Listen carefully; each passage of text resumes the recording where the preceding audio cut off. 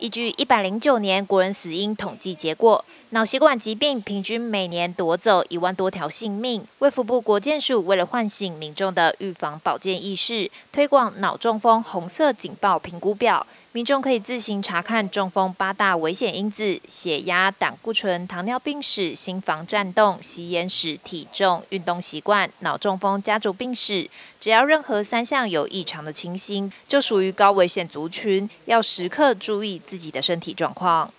那当然，我们脑中风后期，它的治疗的黄金期非常的重要哦。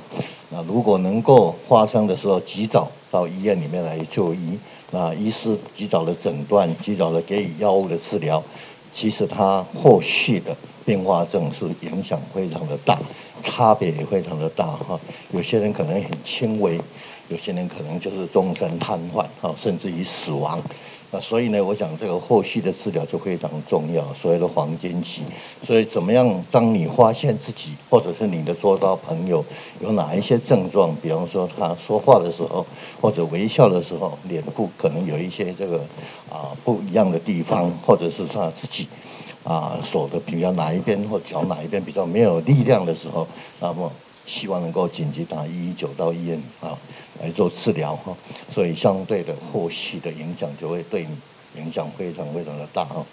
时序渐入秋冬，日夜温差大，容易触发脑血管疾病的急性发作。国健署也推出卫教素材，教导民众辨识方法。无法轻易完成任何一项动作时，就要立即就医。民众可以上网到国健署健康九九网站取得，重视居家保养与预防。记者问俊台北报道。